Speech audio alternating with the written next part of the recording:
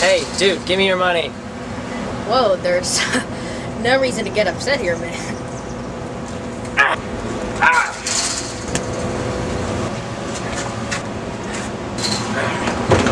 Dude, Pleasure doing business with you, sir.